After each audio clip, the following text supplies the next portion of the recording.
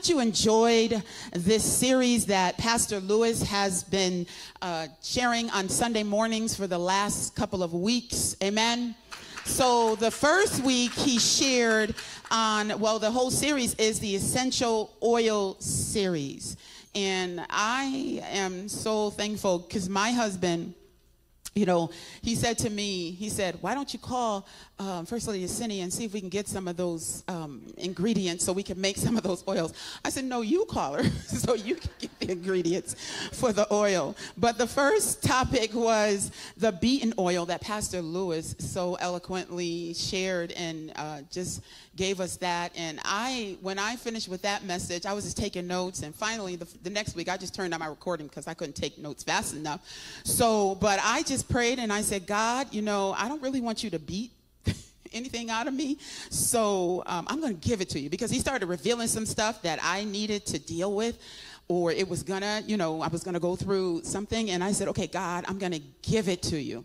And so I gave it to him. And even when I gave it to him, you know, there was that testing, like, like him saying, "Did you really give it to me? Let's really see if you gave it to me."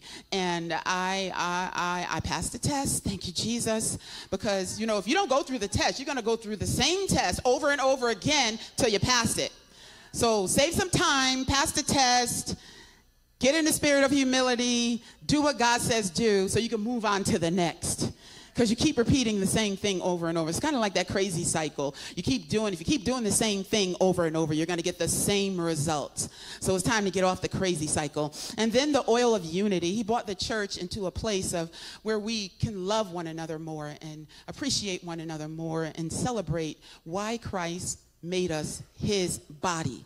Amen. And so he's the head, and we take our orders from him. And then Danny, last week, she did a phenomenal job on the oil of joy. Uh, it was just amazing how she just brought out how we, for the joy that is set before us. And so it's about going through and knowing as you go through at the end, you know that the prize is waiting for you. And I don't know about you, but I like prizes. I don't always like waiting till the end to get them and having to be in suspense about opening up a package because you really don't know what's in it. Kind of like Forrest Gump, and those, those of you that are younger, much younger, you probably don't know who Forrest Gump is, but his life is like a box of chocolates. You don't know what you get until you open it up. No, that's not true because God told us what's in it. Amen. Praise the Lord. So this week, I have the privilege of sharing with you on the oil of anointing. Somebody say that oil of anointing. And the scripture that I'm going to share is in Acts 10:38. That's our foundational scripture this morning and it reads, "You know of Jesus." And this is the NASB. You know of Jesus of Nazareth, how God anointed him with the Holy Spirit and with power, and how he went about doing good and healing all who were oppressed by the devil, for God was with him.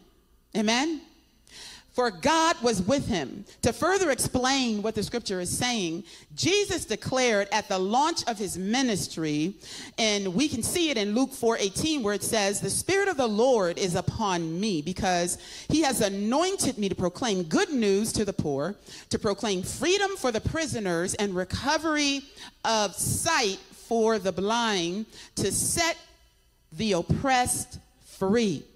Jesus Christ fulfilled Old Testament prophecy as the anointed one. He was the chosen one to fulfill that prophecy. He proved his anointing through the miracles he performed and the life he sacrificed as Savior of the world.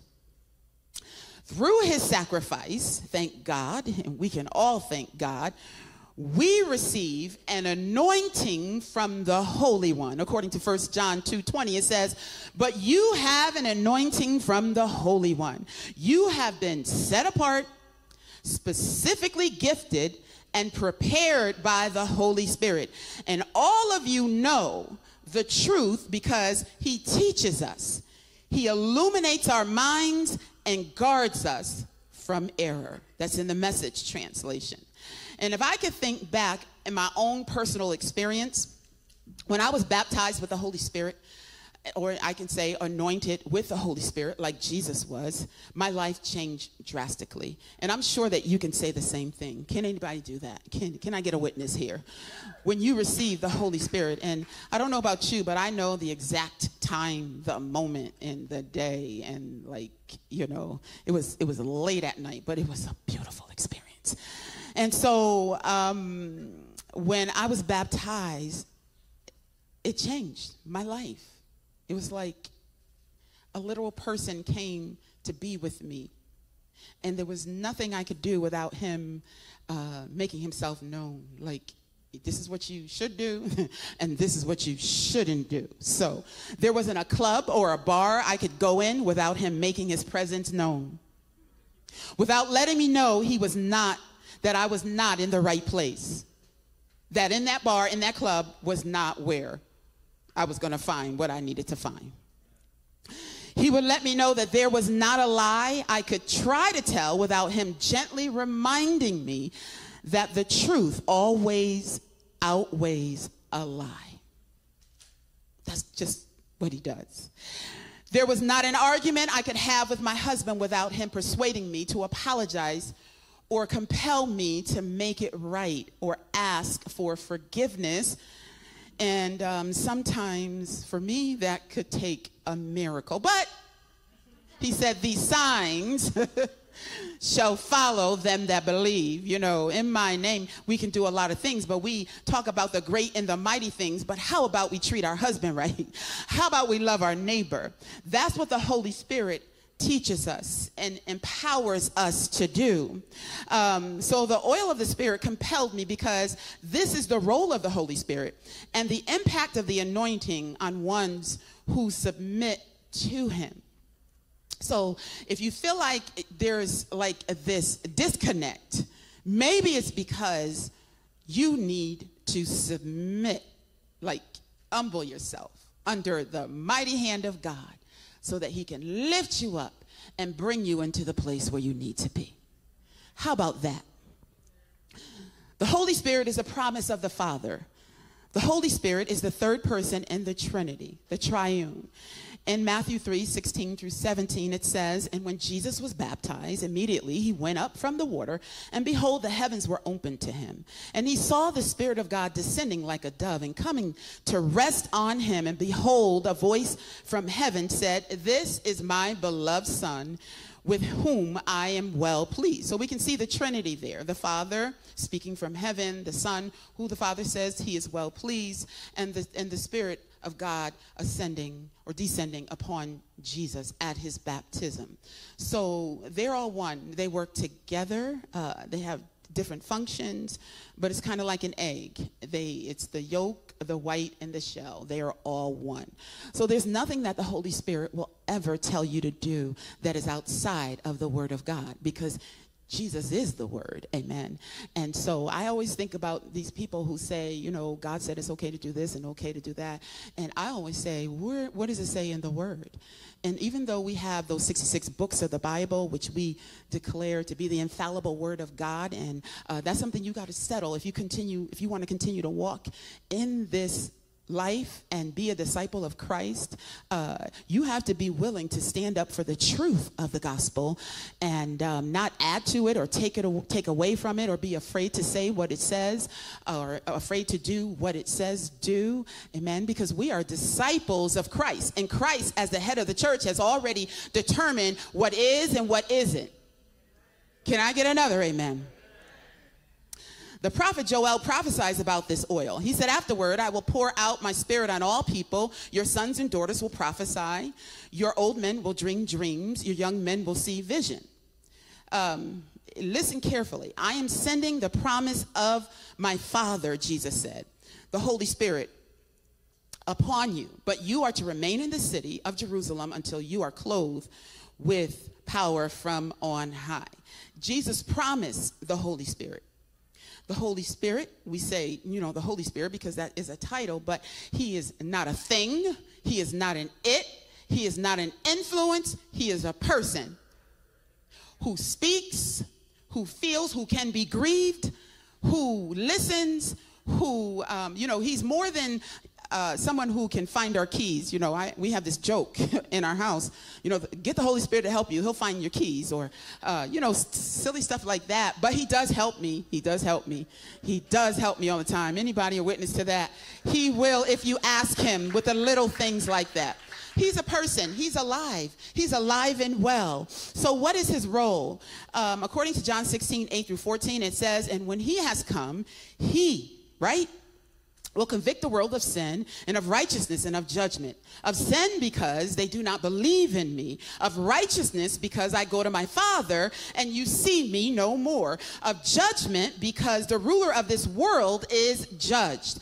I still have many things to say to you, but you cannot bear them. However, when he, the Spirit of truth, has come, he will guide you into all truth, for he will not speak of his own authority, but whatever he hears, he will speak, and he will tell you things to come. He will glorify me, Jesus said, for he will take of what is mine and declare it to you. Aren't you thankful for the Holy Spirit? The purpose of the Holy Spirit in the life of a believer is, according to the scripture that we just read, is to be our comforter, reveal who Jesus is through the word of God, and to empower us to live for Christ and preach with boldness. The purpose of the Holy Spirit in the life of the church is to bring unity, edification, and growth through the gifts of the Spirit. And the purpose of the Holy Spirit in the world is to convict the world of sin now, if we take away the meaning of sin, what is the Holy Spirit going to convict the world of? So let's stay out of it and stop trying to rewrite the Bible. How about that? Because he has already declared what is sin. Read the Bible. Amen? So it is the Holy Spirit's job to convict the world of sin, of righteousness, righteousness and judgment, because every un a person that is not born again, who has not received Jesus Christ, they will be judged. Read the word. That's why he left us here. And that's why he filled us with his Holy Spirit. So we can go out into all the world and compel men and women to come. And as he leads us, he'll lead us to those who he is drawing. So the 120 in the upper room were the first to experience this oil. And Peter stood up and proclaimed exactly what Joel said that this is what was proclaimed by the prophet Joel. And it shall come to pass in the last day, I will pour out my spirit upon all flesh. He was witnessing it as he was speaking it. It's amazing. I remember the day that I was filled with the Holy Spirit. I was 16 years old. And I thank God for my mother. She was a single mother. She worked two and three jobs. And I was like the housemaid. I cleaned. She used to pay me, thank God. I used to get a little allowance. But um, I hated taking money, but, you know, I was a teenager. But anyway, um, she worked two and three jobs. And she was a seamstress. She had six children. Six children. And she used to sew six outfits for Easter. Remember back in the day when we all dressed up for Easter?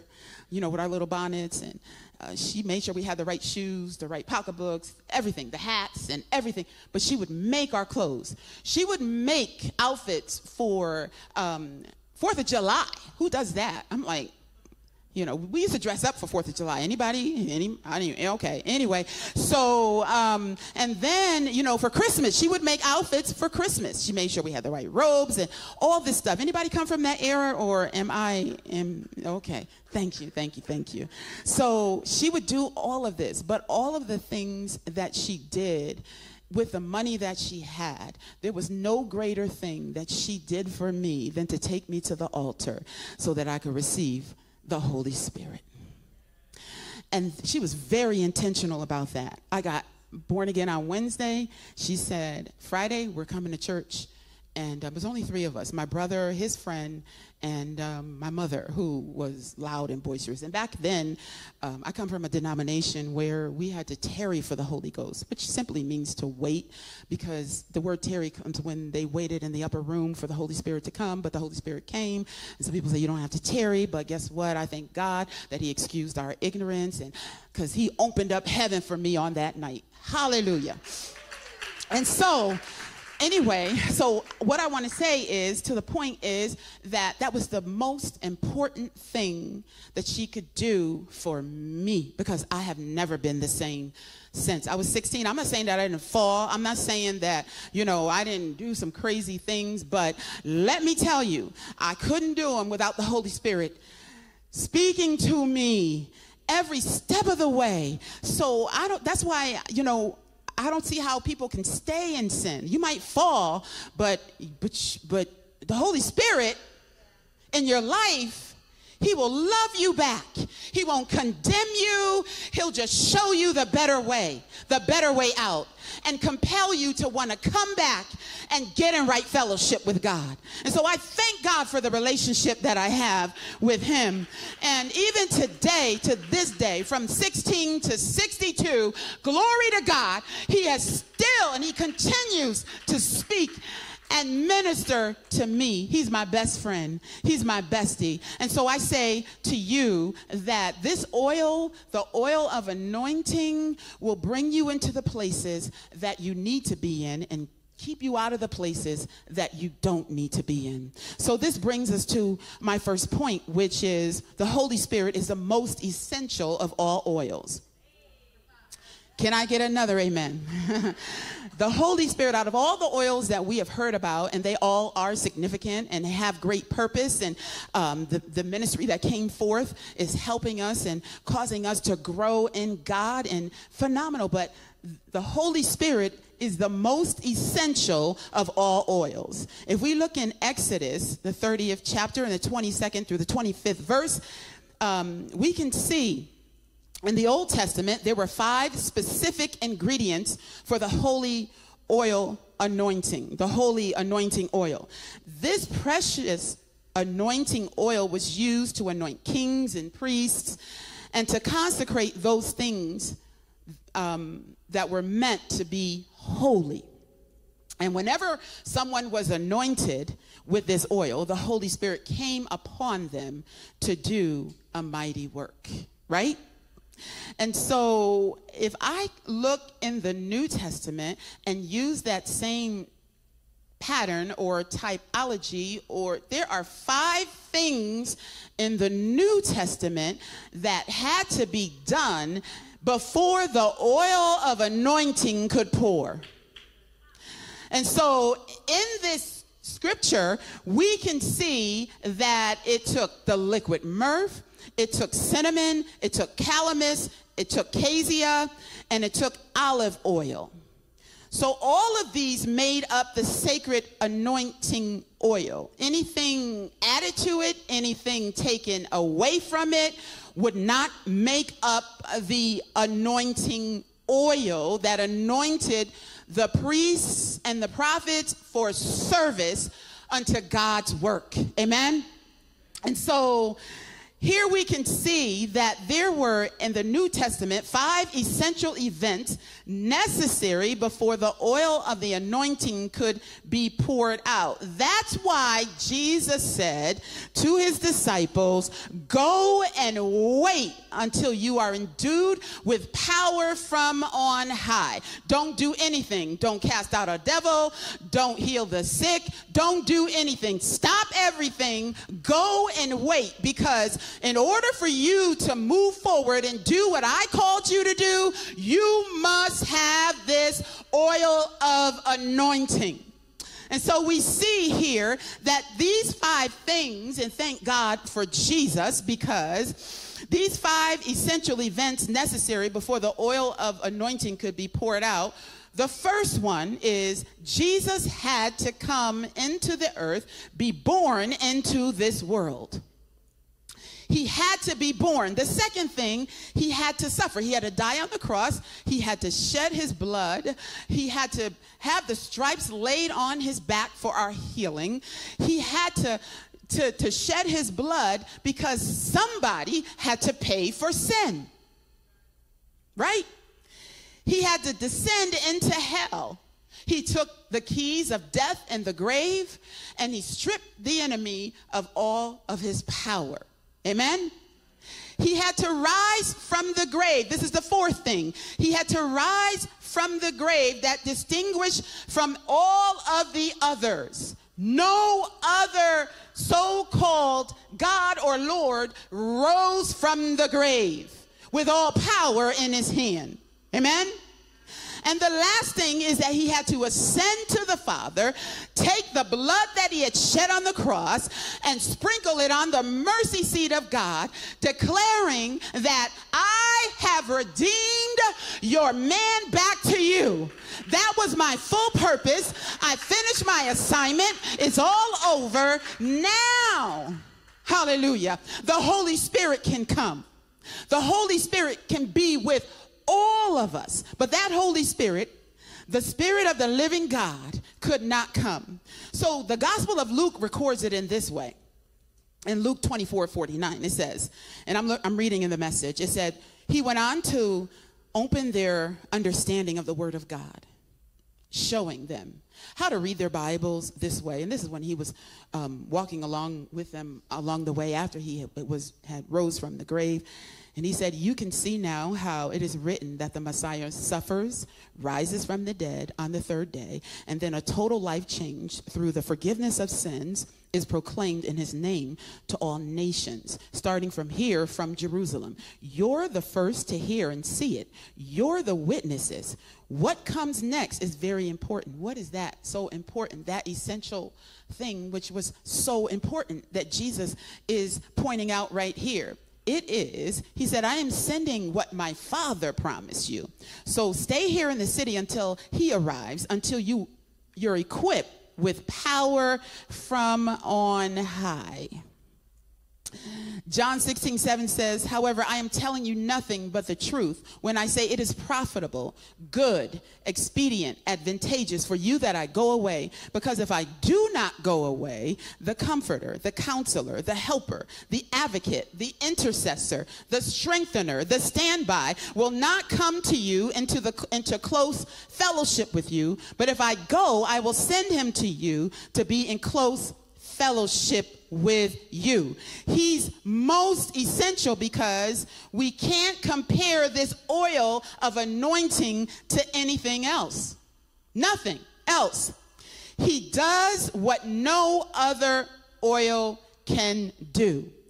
And the thing about it is, he's not just someone who comforts, he is the comforter.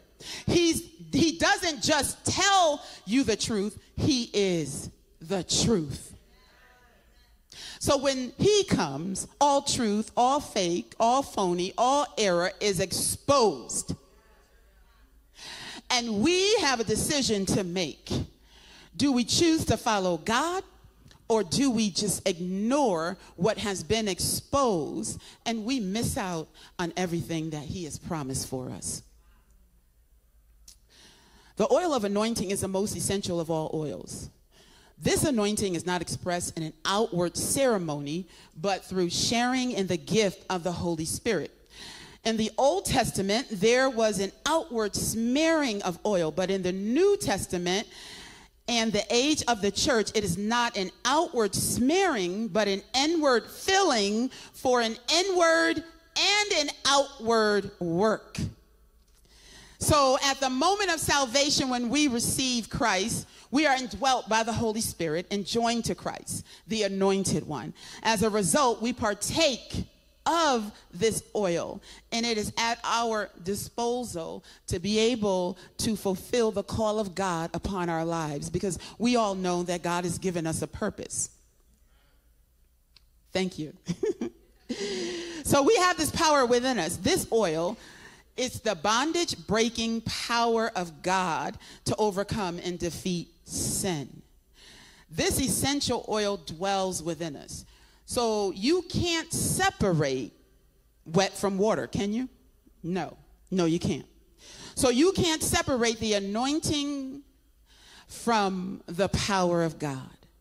So the evidence of Jesus having being anointed by the Holy Spirit and God being with him were all the signs, the wonders, and the miracles. That was the evidence. So when when um when John the Baptist sent his disciples to ask Jesus if he was the one, you know what Jesus told him? He said, "Tell them that the blind see, the deaf hear, and the dead are risen." So that's proof, Jesus said. You don't believe it? And I don't know why John didn't believe it because when he saw him coming, he said who he was. Amen. But I guess when he was in prison, you know how we get when we're going through something and um, one minute we're okay. But the next minute, you know, when we get in a, a, a, real tough situation, we're questioning whether or not we're saved. We're questioning whether or not we're filled with the Holy Spirit. We're questioning whether or not we heard his voice. We're questioning him. But I'm here to tell you this morning that he's real, even in the midst. And that same oil will be tested and tried in the midst of your trials. So allow the oil to pour so that you can come out with the victory. Amen. Let the oil of anointing pour so that you can come out on the other side with the victory. Amen. That's what the oil is for. It's to help us to live this righteous life. And so we can't separate wet from water. We can't separate a Christian from the oil of anointing. Because without the oil of anointing, we are nothing. There is nothing we can do without the Holy Spirit. That's why Jesus said, Don't move, don't speak, don't say anything. So that's why it is so essential for us to understand that we need Him and that we have to bring ourselves to a place of sensitivity where we are just hearing him. I remember when I went through with uh, my husband and he he he just led me every step of the way. Well, the first thing I heard his voice say, "This is your husband, marry him." Well, I he did say that. but he didn't say in 30 days, you know. So I didn't give God enough time to to do what he had to do in him. You know, we just rushed the thing. We got married in 30 days. Well, lo and behold, I didn't know that he had an addiction. You know, my mother, knowing everything, she was like, You know that boy, he's on drugs. I'm like, No, ma, he's not on drugs. She said, Yes, he is. I said, No, he's not. Yes, he is. No, he's not. Okay. Long story short, he was. And so, but then um, I began to say, God, I know what you said. I know your voice, and I did what you said to do. Now, now what do I do? Uh, maybe I did it too quick. Maybe I didn't sit long enough to hear the rest of the instructions. Um, you know, and that's how we get. We get we get a word and we running with it, and um, we get out of sync and out of order because we didn't wait in his presence but it takes waiting in his presence. And you know my husband when he went out he went out he didn't call pastor yesenia. He went out and bought some oil. So he bought this little jar of oil that has the five sticks sticking out of it and so, in order to smell that oil, you have to put it in and turn it over. That's kind of like us. You got to put it in and wait in His presence and soak in His presence so that you can get the direction that you need for your life. So, I didn't wait. But anyway, um, from that point, I began to listen because I realized that I had made a mistake, not of marrying him, but the time was off. So, but there was a day that I was standing in my kitchen and the Holy Spirit said to me, You don't have to stay here and take it anymore. Just like that. Kid you not. To the point where I'm like, or I'd be at a, a, a party and um, the Holy Spirit would say in my ear, softly, You don't belong here. And it sounds crazy, but that's how it happens. And so when he said that, I left, went to my mother. Long story short, I ended up in Oklahoma and I went to Bible school and you know, um, I'm seeking the Lord on what to do, and I'm praying, God, what are you doing with him? He was still on drugs. First year is over. Um, I come back home. He, I had never seen him look so bad. It was terrible. So I went back and um, I had counseling, and they were like, "Girl, go on with your life. You could just marry again. Just forget him." I'm talking about saved, sanctified, filled with the Holy Ghost professors and teachers. And I'm like, but God, that's not what you're saying. I'm just coming here for some advice. But anyway, so I, long story short, God told me to wait. And I waited, and one day I got this letter in the mail. I feel like I'm in a, a group session. Forgive me. I got this letter in the mail, and um, it was him.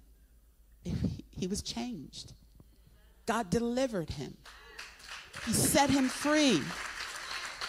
He showed me how to pray for him. While others were saying divorce him, I knew what the Holy Spirit said. I took my ring off because I don't want to answer questions about where your husband is. But don't you know my finger throbbed every single day like I always had a ring on? That's how real the Holy Spirit is. So the Holy Spirit wants to be in relationship with us.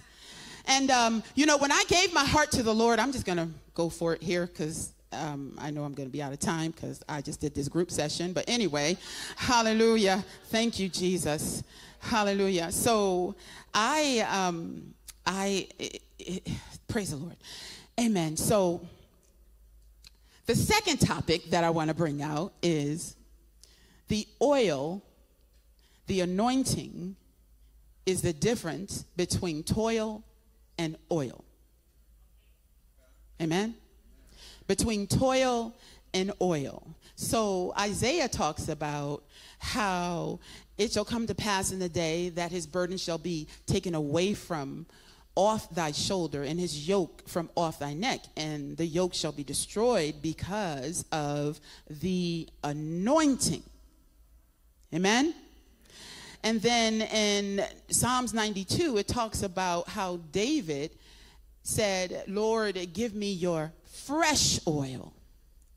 And so in David's life, if you look at the difference between David and Saul, David operated with fresh oil, but Saul did not because Saul had all kinds of things that he was he was jealous, he was bitter, he was mean, he had all this stuff. He couldn't be the king that he was meant to be because of all these insecurities.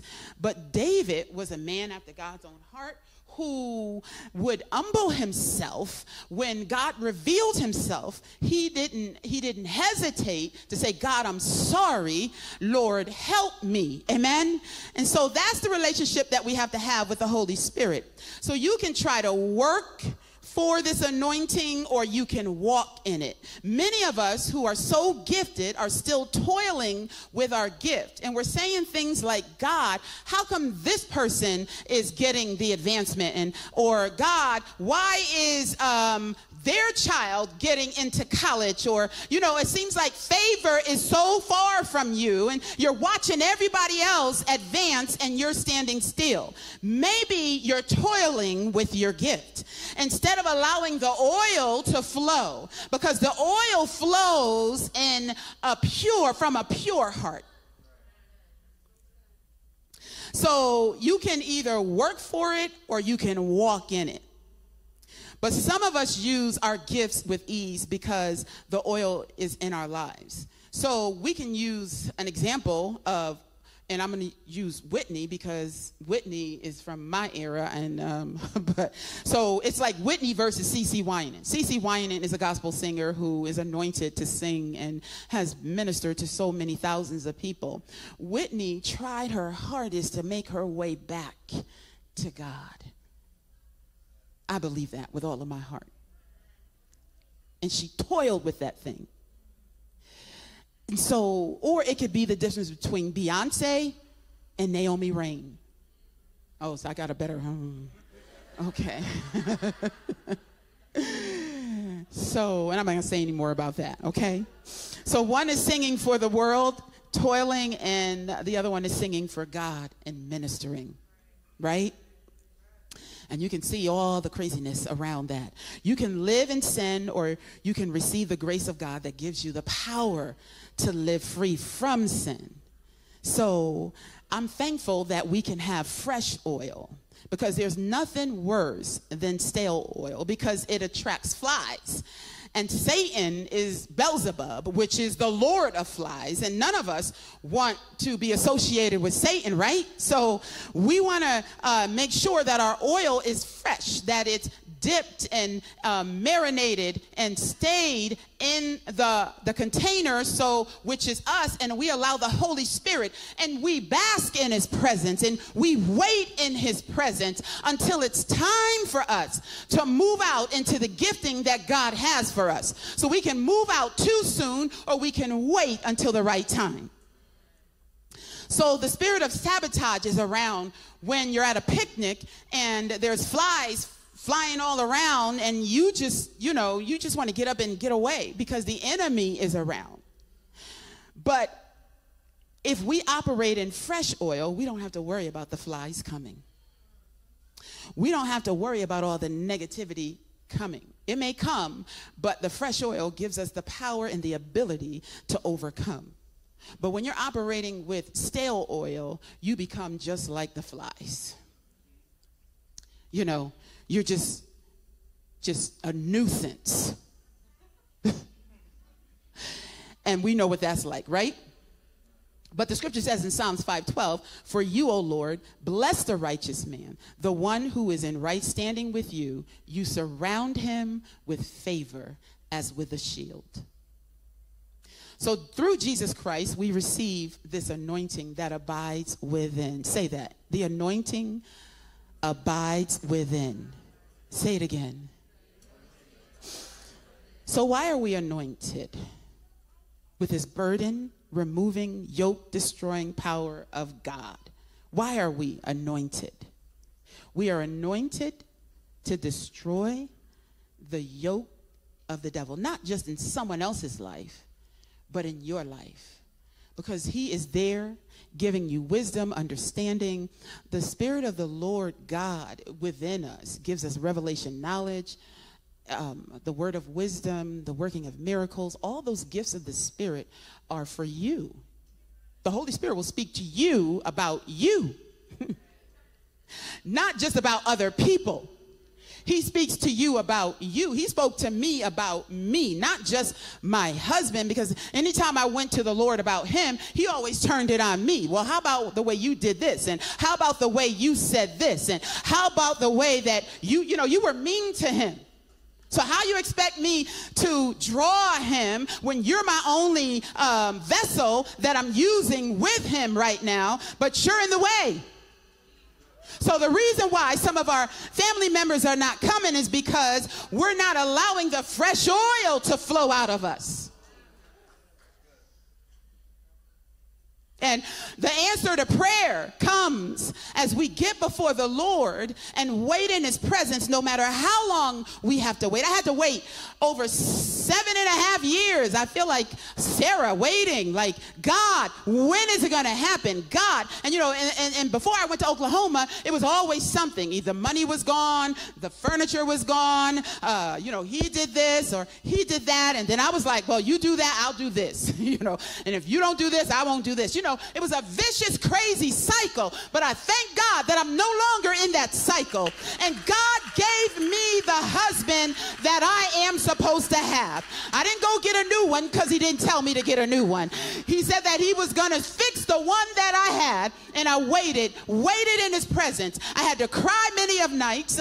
I had to wonder where he was many of nights, but I waited. Hallelujah. And I can't say that I was Miss Pretty Perfect because when I went to Oklahoma and I was in the midst of Bible scholars and Bible teachers and quote unquote anointed people, those were some of the worst devils you can be around. Sorry.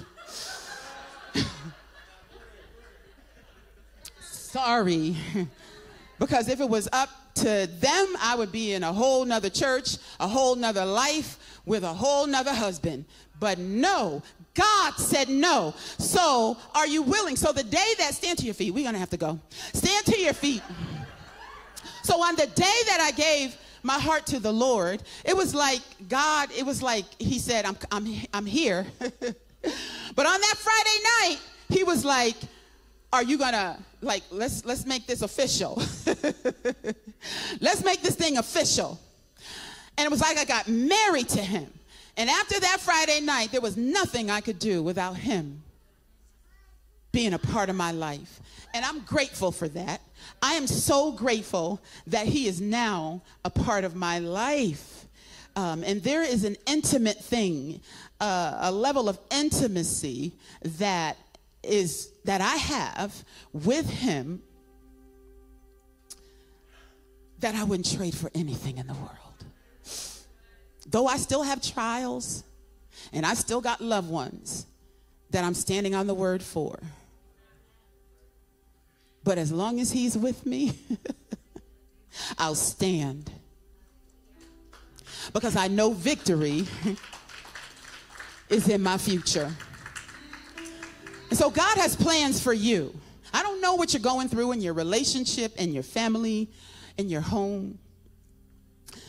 But the last point I need to make, and I'm going to make it quick, is that the oil of anointing is for all of us. God is no respecter person. He will meet you right where you are.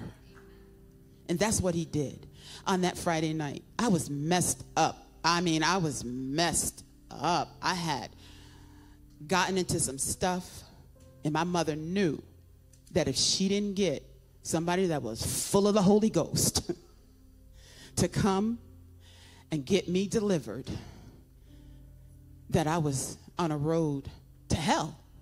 Literal. Well, we, you know, we all are, but I was it was a living hell for me. I couldn't sleep at night. I mean, it was crazy. All because of a decision that I made. He said he will pour out his spirit upon all flesh. Because of what Christ did on the cross, he made it possible for us all to receive this oil of anointing. And God has plans for you, plans to prosper you. But you have to come into an intimate relationship with him. You have to be willing to say, Lord, not my will, but let your will be done. Because we are supposed to be his vessels that the oil, oil pours from. And if you say you're a Christian, if you say you're a child of God, he's looking to pour his oil from you so that you can go into the streets, into your homes, into your neighborhoods, wherever you go, and other people can feel the presence of God. I love when people say, What's something's different about you? And I don't give myself any credit. I say it's Jesus. It's Jesus. It's the oil that he put on inside of me. And for without him, I am nothing. He said, if you then, being evil, know how to give good gifts unto your children, how much more will I give the Holy Spirit to them that ask? All you have to do is ask. And I like to say, we had a class that we used to teach. He's the gift that keeps on giving because he's like the belly, the, the, the, the, river in your belly, and it flows like rivers of living water. He said, You will never thirst again. You don't ever have to go hungry again. And some of us have become cold and callous, and we have desensitized ourselves to the Holy Spirit. We used to hear his voice, but it's kind of like, you know, GPS my sister turned me on to Waze, and it's the best thing because, you know, Waze will do things like this. Traffic officer ahead. right? So that lets you know you got to slow down. And if you don't listen, you could get arrested. And I, yeah, yeah. you get arrested, right? Well, the Holy Spirit, the oil, the anointing, he's like, uh uh Nope, she ain't the one. but oh, she's so pretty. Oh, God, you know, I can't live without her. I told you. and then you, you, you find yourself in all this crazy, crazy, craziness when you wouldn't have had to go through if you just had listened. But that's what he wants. You know, the scripture says it's the love of our Father God the sweet communion of the Holy Spirit and the grace of our Lord Jesus Christ be with us all. He wants to commune with us. And in order to commune with him, you have to be in a place of meekness. where you're willing to give up your will and say, God, if I never get what I'm desiring, I'm going to serve you anyway. Lord, let me think about other people because that's what he did. You know, it, he, he's within us for us, but he comes upon us so that we can minister to others. When is the last time the Holy Spirit came upon you and he gave you something to do for someone else and you neglected to do it? He always starts with little things, like just call your sister and pray with her. You know, so and so needs $5, give it to her. You know, we drive by people on the street. You know, our hardness says, some people been out here every day and the same person every day. Well, something's wrong with them. It's an opportunity. right? So let's ask God to touch our hearts today because there's great work to be accomplished. He said that we would do greater works when the Holy Spirit, the oil of anointing comes upon us. We would do greater works. It starts in our homes, it starts in our relationships, it moves into our neighborhood, then it goes beyond that. So I want to say, you have a great marriage. Just close your eyes. You have a great marriage. See that. Because that's what the Holy Spirit sees. You have a great marriage. Thank you, Jesus. Let us pray. Thank you, Lord. Father, you have provided everything we need to be able to walk in this world. And Father, there's a culture that you require of us in order for the Holy Spirit, the oil of anointing, to flow through us. We know that it comes through prayer and fasting. So we ask, Heavenly Father, that you would give us a culture of prayer and fasting in our own personal lives so that when we come together, we become a part of a greater thing. But our part is not the weakest link. We bring to the table what you have provided for us individually. Father, if there's anyone in this place today that doesn't know you, I ask God that you would come into their heart right now. Show them who you are. Holy Spirit of the living God, draw them to the feet of Jesus. And Lord, every word that was spoken today, let it ring in their spirit, Father, so that they can experience you, Holy Spirit.